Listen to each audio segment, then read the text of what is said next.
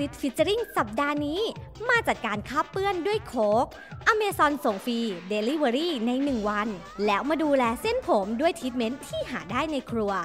honey with olive with อ๋ avocado อันใช้นี้ไม่เหล่าใช่มุกนะคะ เม้าท์แบบไม่มีหยุดกับอาจารย์ฮันนี่และโอลิฟห้ามพลาด จันทร์นี้3ทุ่มถึง3ทุ่มครึ่ง